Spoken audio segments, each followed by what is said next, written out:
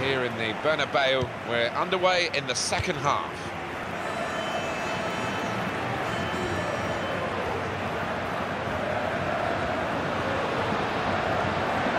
For goal! Well, it was coming, I think.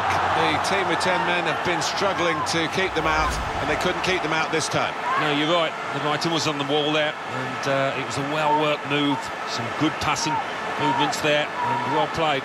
Another angle on it here.